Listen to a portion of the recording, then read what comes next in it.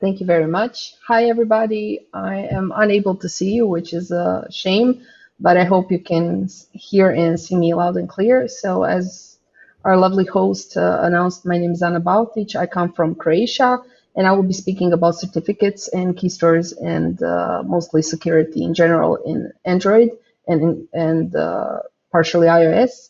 So the talk of the day is sign here. We'll be talking about signing certificates and documents and other things. But before we start, I would just like to point out where I'm currently at. So in pandemic time, uh, we are unable to cross borders, but I would like to thank our hosts and organizers for providing such a wonderful event where these physical borders don't really matter anymore.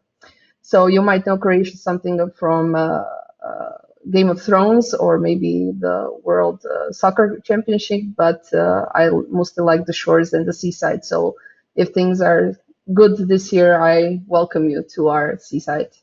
Now let's start with the actual talk. Uh, before we can start in details, we need to define a few things. So first of all, what is a certificate? Uh, most of you don't really think about things like that. Most developers don't think about things like certificates until they're caught up in a situation where they have a huge problem, as I did a uh, long time ago.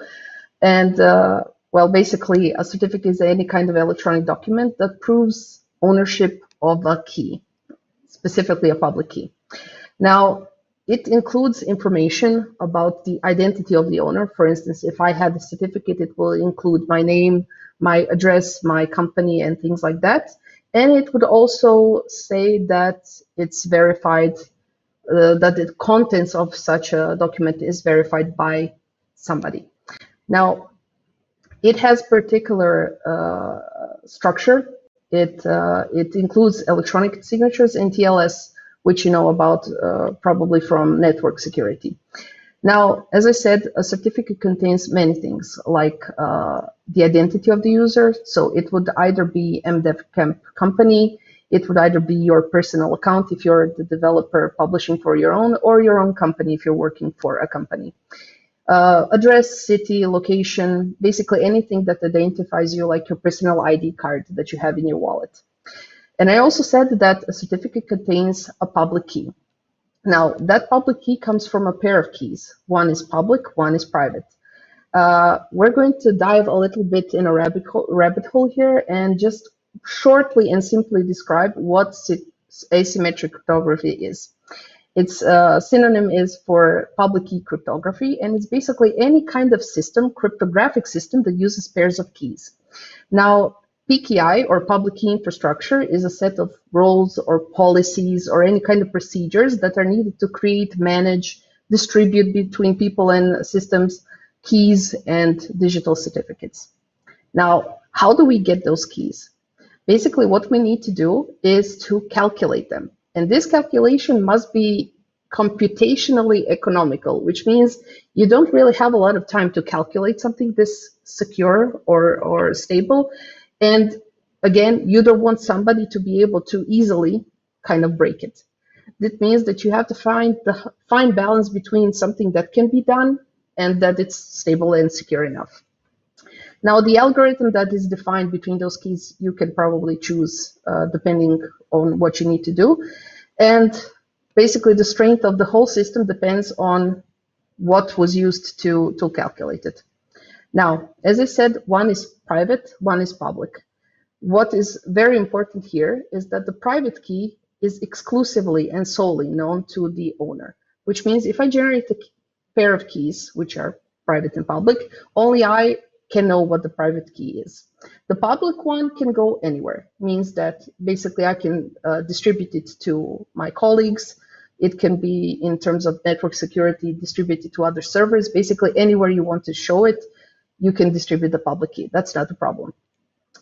Uh, the other important thing to know is that the private key is usually used to decrypt messages and the public one to encrypt them, which means if I want to establish a secure communication, I will want somebody from the audience, you, to use the public key that I gave you to encrypt the message, but only I, with my private key, will be able to decrypt it. This is how we establish a private conversation where only the information that you send me, I can read. And finally, uh, we use the private key to to uh, to verify uh, to verify. Just give me a second to calculate the the hash or digest. Right. Uh, why do we need that? Why do we need signatures? Well, basically, we need to know what signature is in order to use it. Uh, any kind of digital signature that we have online, our online presence, is kind of mathematical scheme that demonstrates the authenticities of a document or a message. Which means if I send somebody a message, they need to be able to verify that I sent it and that nobody modified its contents. And this is what we try to achieve. Now, one purpose obviously is authentication. This is a layer of validation and security for any kind of message that is sent through an online system, meaning when you exchange data from your iOS or Android device towards a server and back. Uh, next is non-repudiation. That's a mouthful. Uh, basically, we need to know that the person who says that sent it is actually the one who sent it. Meaning is that uh, basically, if you send something that's corrupt or that something is invalid, it can mean only one thing. It means that your key was either broken or it means that you deliberately sent it. So there's no third option there. And the third part of any kind of digital signature, obviously, is, as I mentioned, is integrity, because we need to know that the contents were altered. If somebody is sending you a message, hey, you got a raise and you got, I don't know, $1 million, we wouldn't want somebody to put, I don't know, half a million or something else there. We need to know that the content is sound and nobody messed with it. So basically, how do we do that? Well, in order to calculate a hash, we use any kind of uh, function like RSA, DSA, elliptical curve DSA.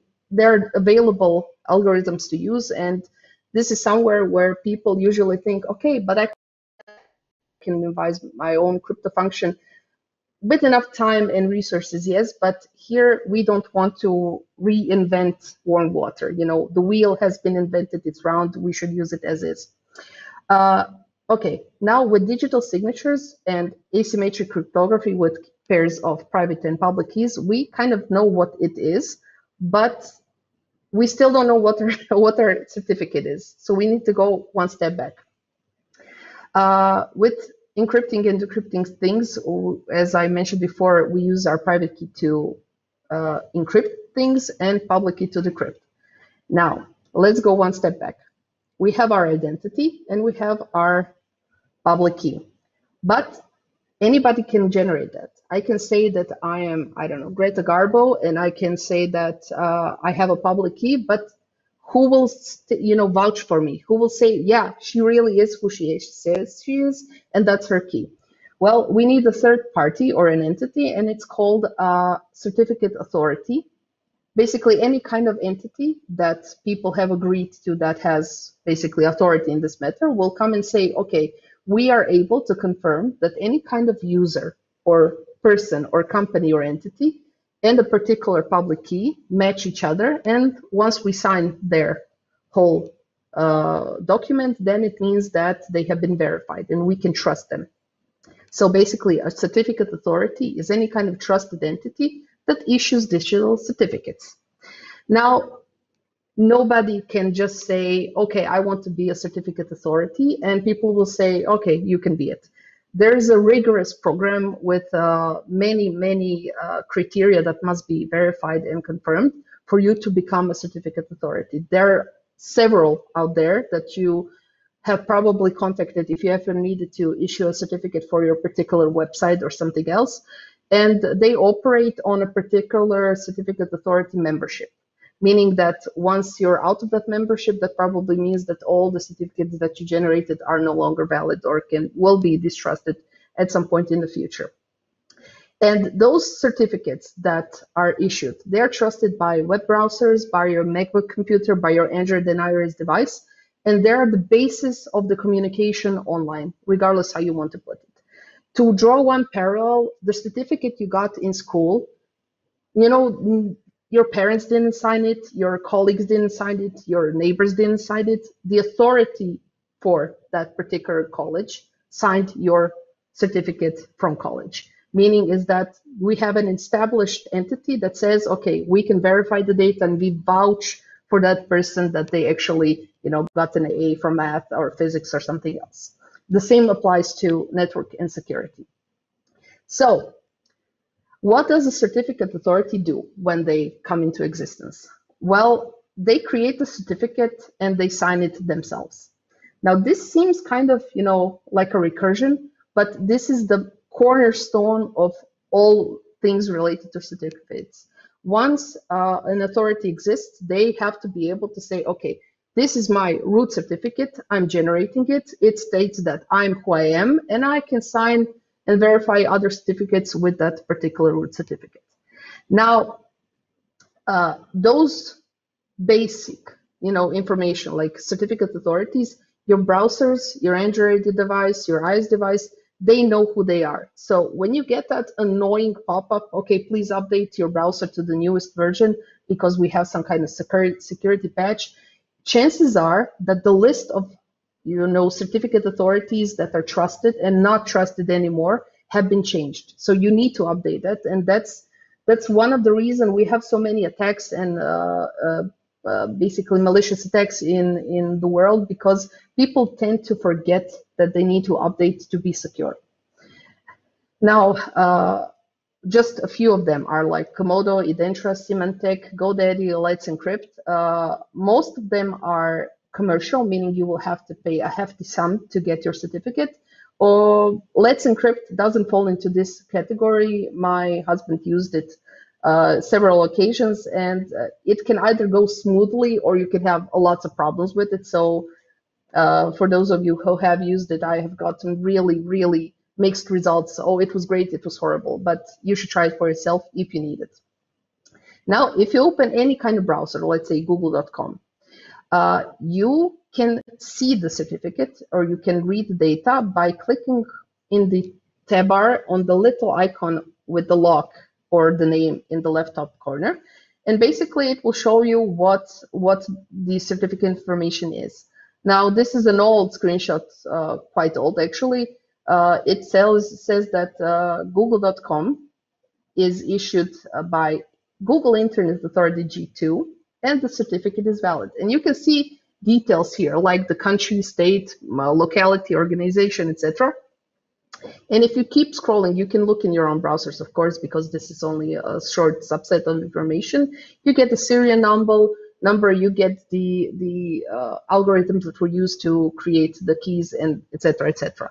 Now, if you take a look at the top part, you see that we have google.com and above it is Google Internet Authority. What, what happens here is that we have not just one certificate, but a chain of certificates. And this is necessary because we will eventually get to the point where, you know, some things can go wrong. And once things go wrong, we cannot basically be in the situation where we need to kill all, all our websites and hosts, etc. Uh, but we will get to that a little later. Now, just let's look at the Google Internet Authority part right now. Again, we see the subject name, we see the information that the certificate is valid and that it's issued by, by uh, in this case, um, GeoTrust. Now, if we take one step upwards, we get to the part that's really interesting, GeoTrust Global Certificate Authority. Now, this is the root certificate. What we saw was the root, intermediate, and the leaf certificate. And this particular one that we're looking at is the one that was issued by the certificate authority. Now, GeoTrust issues many certificates to many companies. And we want to be sure that if there is a, you know, a leak of a private key to one of them, that if we just exclude that one, that everything else will be okay. So we don't compromise the whole tree. Now, if we just take a look at the chain of what it looks, so certificate chains are used to basically defer responsibility and mitigate risk on the on the network. Uh, root certificate uses its public key to verify the digital uh, signature of an intermediate certificate, and the intermediate certificate in turn verifies the signature of the identity certificate. So that would be google.com. Uh, there aren't many differences between uh, certificates in general, but you can get a domain versus extended validation type. Now, they do the same thing. They confirm the identity, but the effort needed to get an extended validation on a certificate is usually much, much bigger. Uh, there are more checkbox to take, there are more information to provide. Both ensure privacy, but one is more detailed or to be or to be exact, uh, one provides more, I don't know, clarification. Uh, what is very, very problematic in this whole system, although it seems like a great concept and generally it is because all the network communication is based on it, the main verification is prone to attackers. Uh, and this is problematic because uh, when you need to verify your identity at some point, uh, let's say that your certificate authority might send an email to you. It might assume that it will get the uh, responsible person at, I don't know, admin at google.com or root at google.com, etc., etc. And sometimes these email addresses aren't really, you know, secluded to a company or private or or not available to general public. Sometimes they give these addresses to anybody, and uh, that could cause a lot of problems uh, but we'll get to that a little bit later. So my question here, if we take a look at the whole system, I know we have private and public keys, we take care of them, and we know that uh, everything should be fine. But you know, are we? Uh, I don't think that anybody put this better uh, except Scott Hanselman when he said that basically HTTPS and SSL don't really mean trust. This it means that the whole communication is only private. And this this is very funny uh, turn uh, in his tweet because basically he's correct. We only know that nobody can listen to our conversation, but in the end, we might be talking to the person who we are talking to, or it may be somebody else completely. This this must have happened to you once or twice in your lifetime. Now, the problem is subversion. Uh, any kind of man-made system is prone to errors because we are prone to errors, and so is this. Uh, what to subverge is to overthrow, meaning that in uh, 2001, uh, VeriSign issued two certificates to Microsoft, which weren't Microsoft. I think it was a scheme where they sent, you know, private information to one of those email addresses, assuming that the responsible person at Microsoft will be getting them. But it turns out that it was a random person who just happened to get, you know, admin at Microsoft or something like that. Uh, and uh, something similar happened to Comodo and DigiNotar in 2011. Uh, I believe that TrustWave issued uh, certificates, uh, a subordinate group certificate that was used later on in man-in-the-middle attacks. So basically, any kind of man-made system is prone to errors, and this happens. You know, we cannot avoid this. So what happens is key theft. When this happens, uh, if you own the private key, you can wreak havoc to the whole system. The scheme is flawed again because people are behind it. You know, it's not a bulletproof system. And again, uh, where you store your keys is very important. So if you ever heard of HSMs, it's uh, it's a shortcut for hardware security modules. Those are top secret James Bond uh, Mission Impossible black boxes or gray boxes that are stored in weird places like you know basements, uh, behind locked doors. They have you know lasers and stuff uh, that uh, that notice any kind of movement, any kind of temperature shift. And the point behind this is that if something happens to this box, if somebody steals a hardware security module with private keys for a bank or a government, we need to make sure that those keys get destroyed before they can use them. So what happens if you shake the box or you don't provide, you know, three keys that are turned simultaneously in one microsecond and stuff like this, uh, the box will detect either movement or a change in electricity or, or and it will erase its contents. And this is how we keep it safe. And of course, the safest way to keep those keys, regardless of what you do, is offline. Because if you cannot get to them, then nobody can get to them. Now, let's take a look at Android for a second.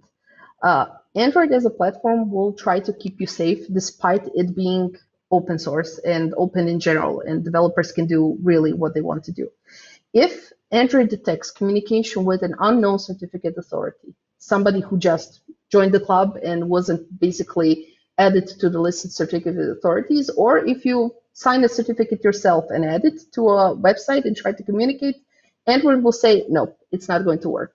And installing certificates from a particular website on the device was possible before Android N, but after Android N, you basically need to provide network security configurations that will say, okay, trust an unknown uh, certificate authority or trust a self-signed certificate. Uh, this leads to certificate pinning. If you've ever worked with a larger client, they might have asked you, okay, we have some really serious, really monetary related uh, stuff here. Please pin our service certificates in your app. Now, this is possible and people do this, and it's generally a good idea until your client decides to change the service certificate without notifying you. Then you can get a phone call at 6 a.m. with a screaming client on the other side saying, wait, everything stopped working. The Android app isn't connected to anything. We have, uh, you know, a drop in production. What do we do?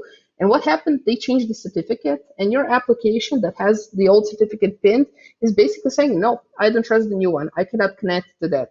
So it's it's it's easy to shoot yourself in in the foot so if you're pinning certificates in your application, you either need to have several of them pinned, like uh, like a backup that might be exchanged on the server, or you need to have a really, really good relationship with your client where you know that you will be notified in advance that the certificates will be changed. Uh, Android would also tell you that it cannot connect to uh, API or server if there's no intermediate certificate on, on, on that server. So that means that the whole chain of certificates must be present and everything in that process must be clean, uh, which is good.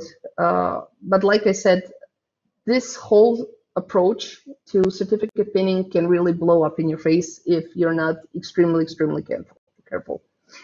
Uh, now, in terms of mobile applications, I will be talking more about Android than iOS, but same concept applies. Android requires all the builds that you create to be digitally signed with a certificate.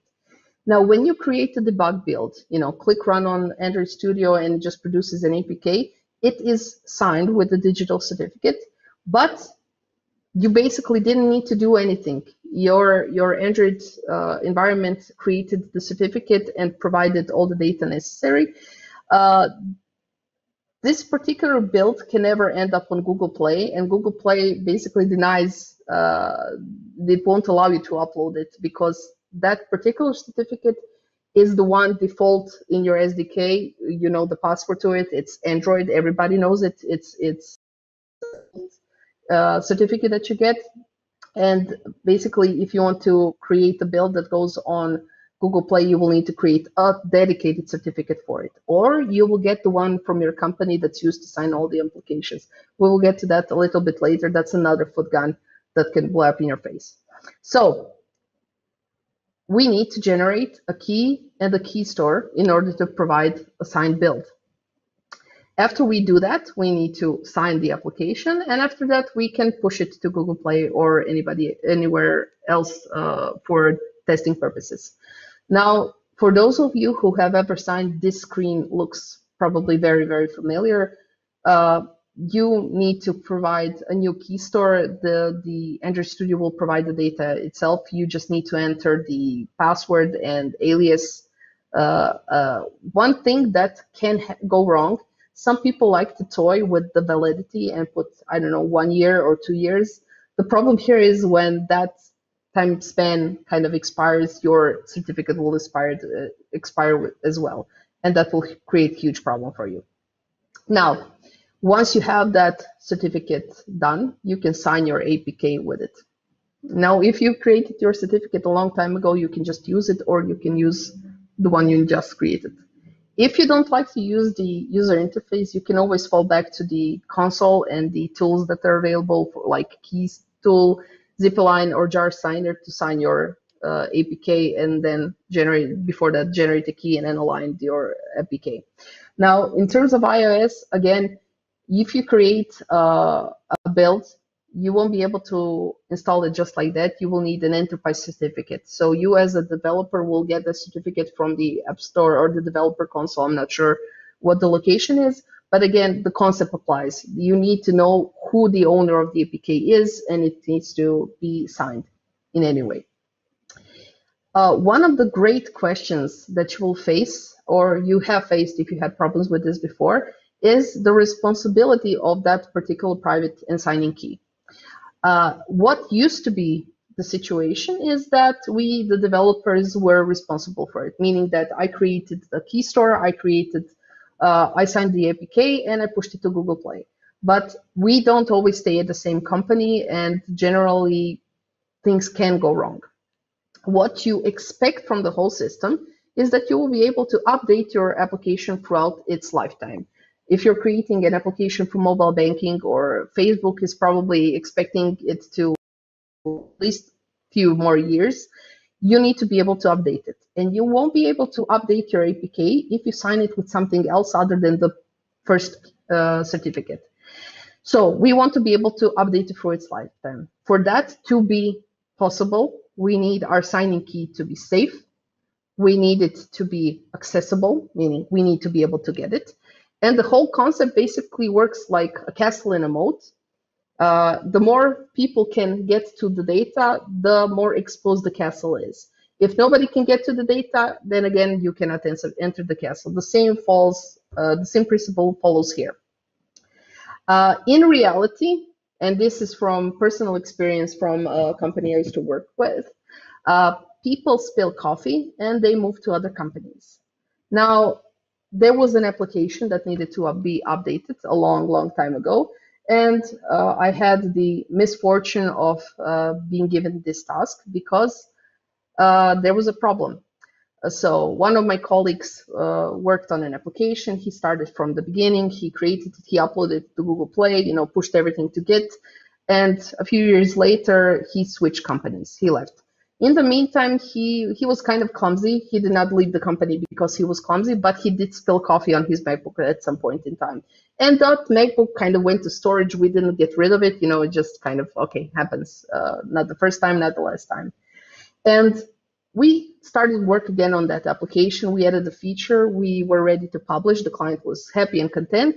And at the time we got to the publishing, it wasn't really possible because the location of the key store that was created was nowhere to be found.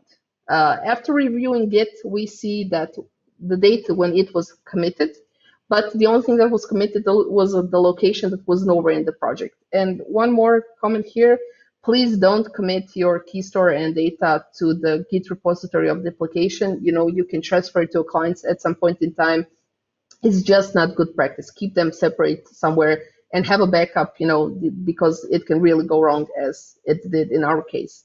So what happened in this uh, situation, we got really, really lucky because that MacBook was still in our premises and we managed to get a hold of our colleague and he gave us his password. And with lots of lots of trouble we managed to get to the key store put it in safe storage and resign our application push it online. But uh, the scare and the panic uh, that goes along with you basically having to tell your client oh we made a problem we made a boo-boo in lack of a better word and we won't be able to update your application and basically we're costing you money and your reputation will kind of go to shreds. That that's a problem and you don't really think about it until it kind of happens to you as we particularly did. So what happened was that google noticed this uh, because you know companies are small but there are bigger companies and bigger players that have the same issue. And they said okay we got a solution for you. You surrender your signing keys to us and we will then take care of this the the publishing process. And this was great for old and new apps uh, because now you were able to just create an upload key. You uploaded that sign key that you used and you registered the signing key and that was it. So basically, Google said, okay, you're taken care of. We will make sure it doesn't get lost. I mean, if they lose it, the whole system kind of falls in water to begin with. Uh, and for the existing apps, you again submitted your signing key and created an upload key, and you continue signing your application with the upload key. What you need to know is once you decide to say, okay, Google, you can kind of use my keys and I'm relinquishing my my authority here, the decision is permanent. So you cannot undecide to to give them control for this.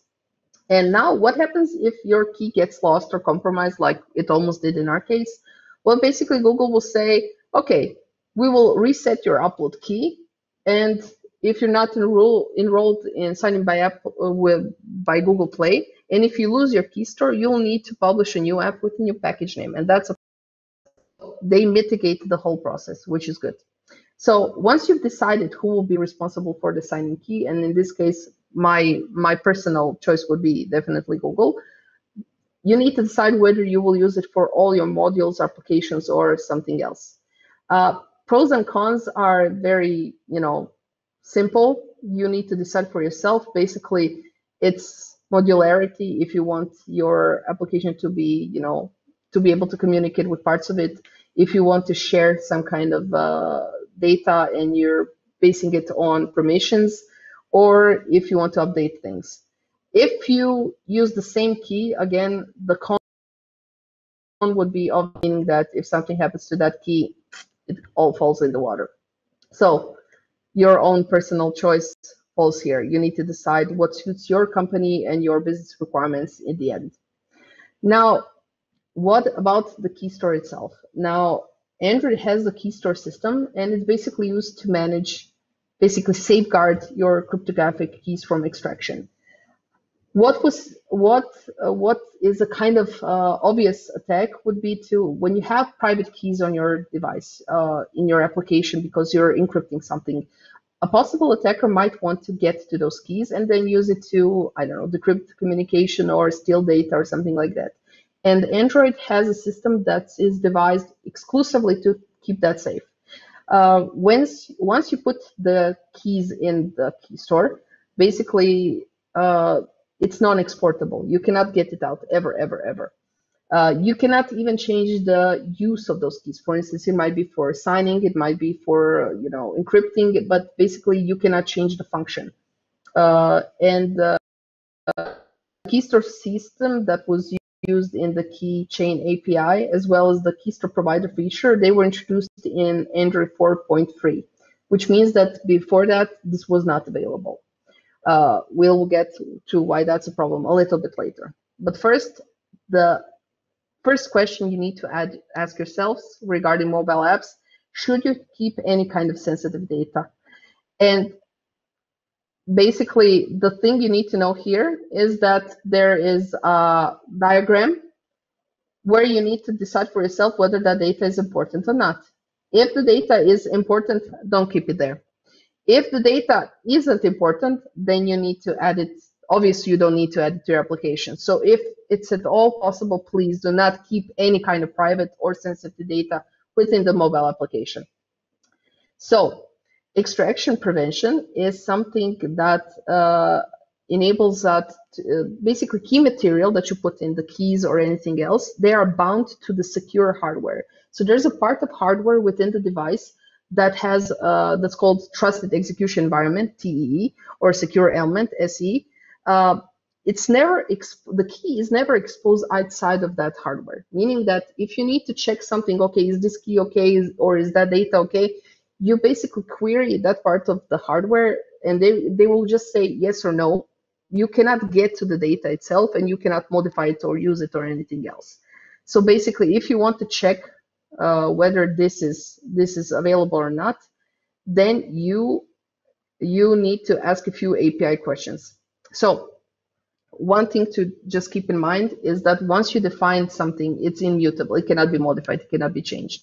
Uh, it also can be checked uh, that once you query something, that it's a valid, information is valid only like for one minute or two minutes or three minutes, which kind of reduces the time span where somebody could try to get the to the same information that you're trying to get to. And of course, uh, user authentication, where you need to authentic authenticate yourself on the device with a PIN code or Face ID or something else to be able to get to that data. So the utility methods that are available in Android since API 23 is basically key info is inside security hardware, which is just a yes or no. And key info, and now this is a mouthful, is user authentication required requirement enforced by secure hardware. Now, naming is hard. I'm sure you've always, uh, at least sometimes, had a problem with naming variables or something like that. Uh, Google is no exception here, so this is a really, really long method. But basically, it lets you check whether some kind of private key is bound to the hardware that that that you know that will be secure and uh, not retrievable. So this returns true if the requirement can be used and user has been authenticated and it's enforced by the secure hardware. That's TEE or SE. Now this was added API 23. Uh, you can choose whether or not you will use the keychain or Android Keystore provider. Again, keychain was introduced in API 14 and in this case, you need to, you get the ability to have system-wide credentials or system-provided UI. So, you know, everything the same.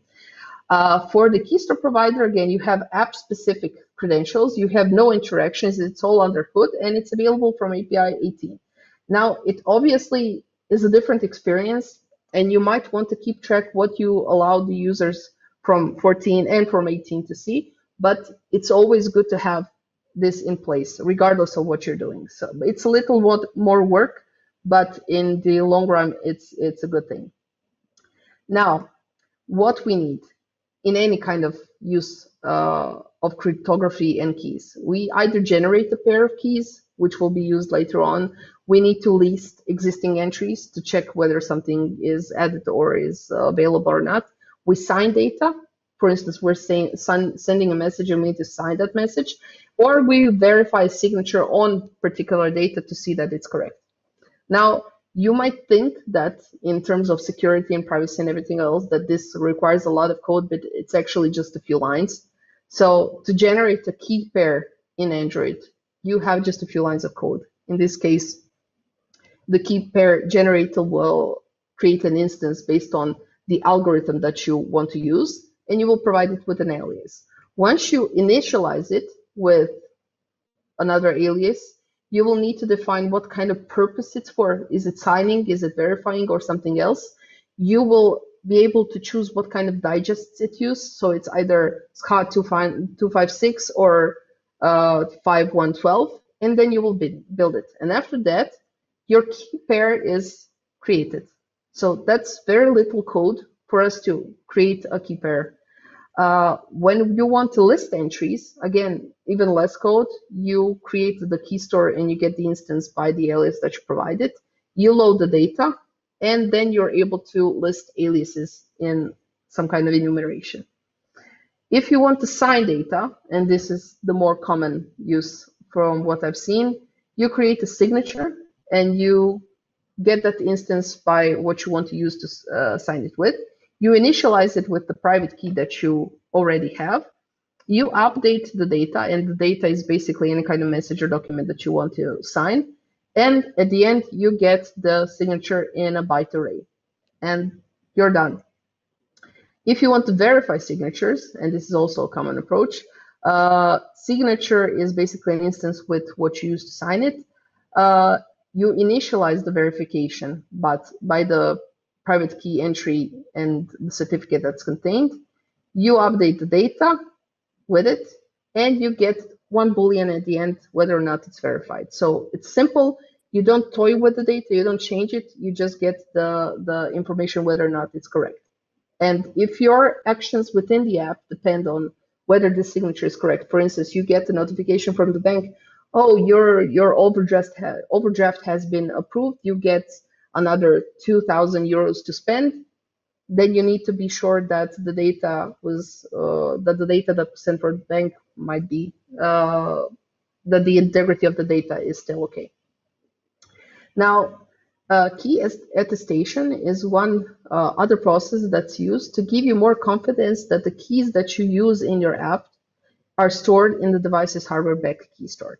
But this process, although great and very useful, only a small number of devices running from Android 7, and that's API level 24, support this kind of attestation. all older devices and other devices from that API level, they don't have it. They use software level key attestation. Software always is less secure than hardware. So this is a problem because there's there's a lack of standardization and it would be much better for the end users and you to be able to have the security that this is available in all the devices. And we know that the android market is huge and you know it would be too costly to put it everywhere. So it's kind of uh, you know a scale. You need to weigh what's more important.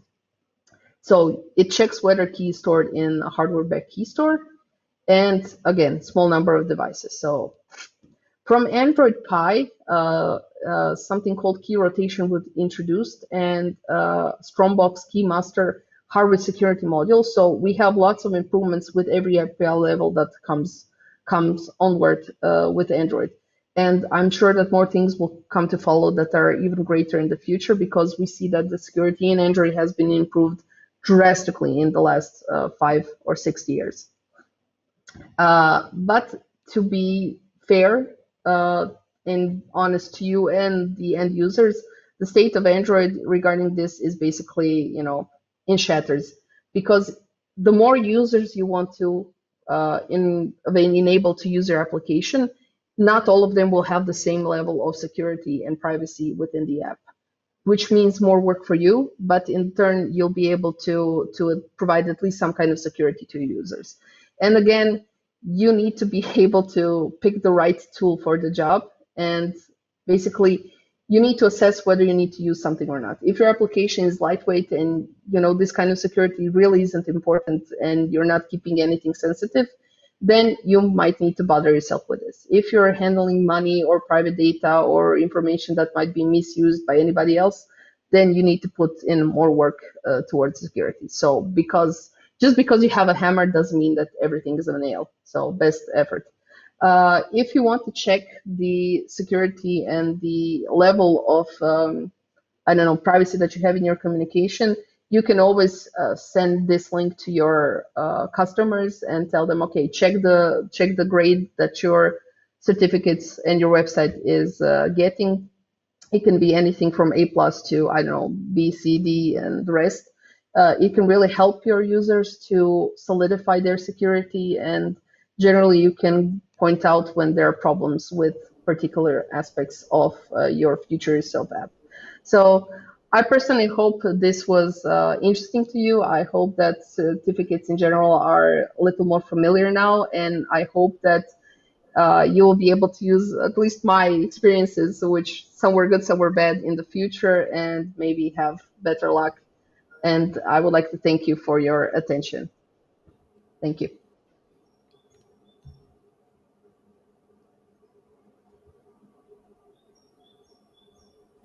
Thank you very much, Ana. That was very comprehensive. And we have one question from Slido. So uh, our attendee asks, is it safe to just verify root certificate of CA to be sure that communication is private?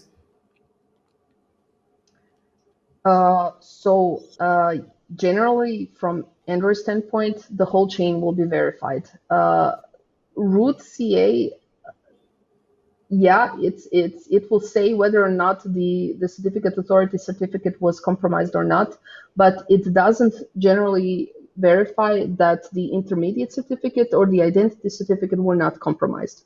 For instance, if a company were to lose its private key, and now the identity certificate would be able to i don't know generate another pair or uh, another certificate or something else then this whole branch would need to be cut off. So just checking the root is is in terms of android it's not enough. You need to verify the whole chain.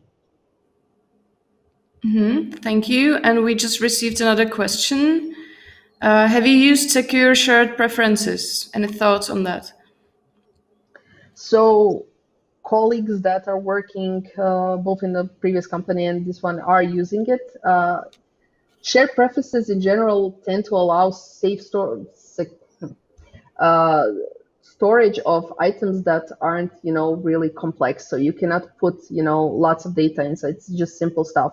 Uh, from our perspective, mm, we wouldn't ever ever put anything too important there. So anything that's, you know, that's problematic or that could be used, you'd want to keep it off the device because even if if you keep it in something like that, again, you can root your device, especially on Android. iOS has a different kind of approach to security in general. Uh, once you root to your device, basically everything that's on it, uh, except the hardware part, is available to misuse. So it's it's a good thing to check and to try, but uh, if it's not really critical and if it's completely irrelevant, again, you shouldn't keep it in your app. So that would be the general advice. Thank you very much.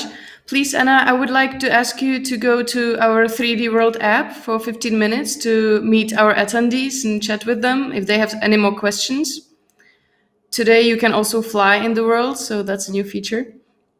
Um, and for yeah. the rest of you, please uh, rate Ana's talk. We collect ratings. Um, and also, the next talk in 15 minutes uh, will be very interactive. Uh, you should have received instructions how to prepare for the next talk uh, in your emails uh, because you need to, or you, it would be nice if you um, filled in a questionnaire that is uh, a part of the next speaker's talk. So you can do it during the break. It takes about 10 or 15 minutes to fill in, and you should have the links in your emails. Uh, and the talk will be very interactive. We will ask many questions, and we would like uh, you attendees to answer all those questions and help us with um, the talk and um, to make it a little bit more interactive. So, uh, Ana, thanks again. And uh, I will see the rest of you in 15 minutes. Goodbye. Bye.